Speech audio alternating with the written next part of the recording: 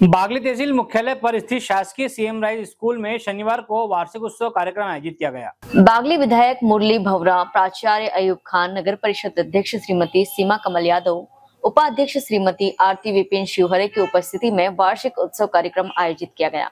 कार्यक्रम में बच्चों ने सांस्कृतिक एवं धार्मिक प्रस्तुतियाँ दी। स्कूल की ओर से विधायक का अभिनंदन किया गया। साथ ही स्कूल में उत्कृष्ट कार्य करने वाले स्टाफ का भी विधायक द्वारा स्कूल की ओर से प्रमाण पत्र देकर अभिनंदन किया गया।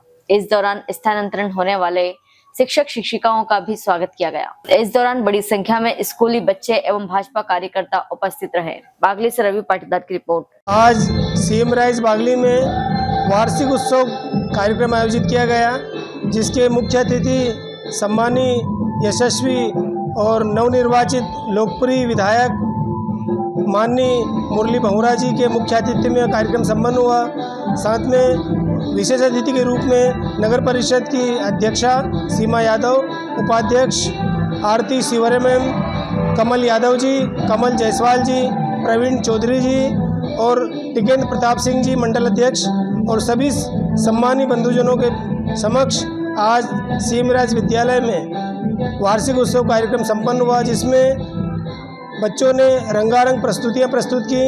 साथ ही जो वर्ष भर जिन शिक्षकों ने उत्कृष्ट कार्य किया, उनको भी सम्मानित किया गया।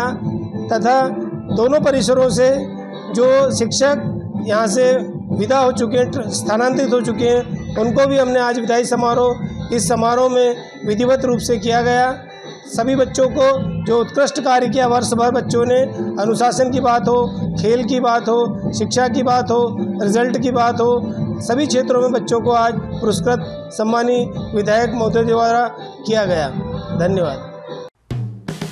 हेलो फ्रेंड्स आप देख रहे हैं हमारा channel S W twenty four news हमारे सारे वीडियो सबसे पहले देखने के लिए आप हमारे चैनल को सब्सक्राइब करें और पास में लगे बेल आइकोन को दबाना बिल्कुल भी ना भूलें।